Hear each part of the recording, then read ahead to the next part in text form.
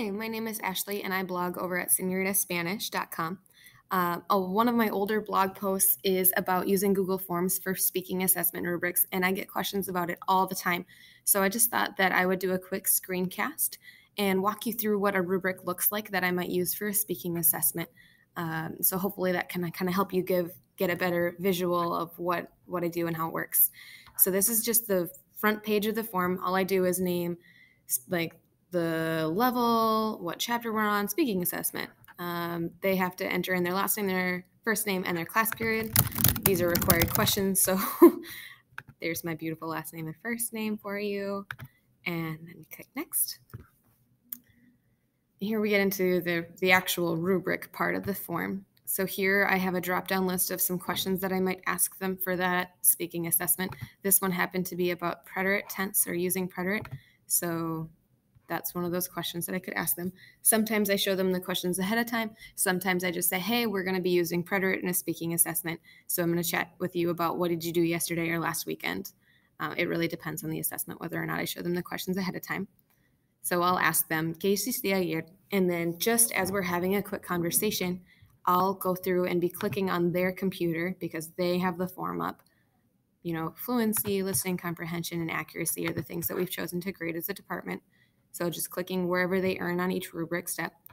Um, and then we usually do a follow up question. So if they said, Pues ayer yo miré Netflix con mi familia, I might ask, Oh, um, ¿cuál programa miraste? And then depending on how they do on that follow up question, you know, they can earn some more points.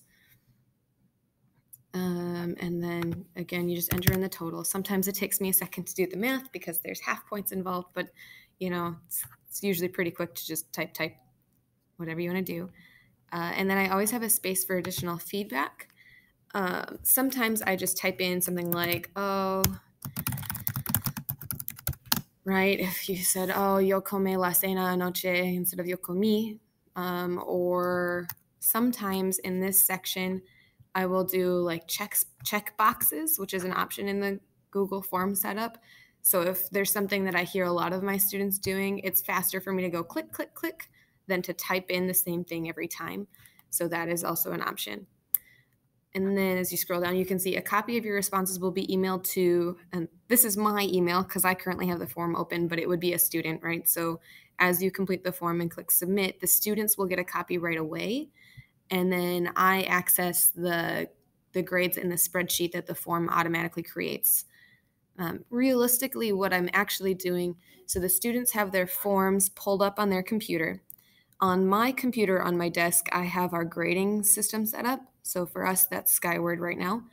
Um, the students come over, we do the speaking assessment. I click through this rubric, click, click, click, click, type in the total, type in any additional feedback, click submit, hand the computer back to the student, turn to my desktop and just type in their points on the Skyward system or the grading system.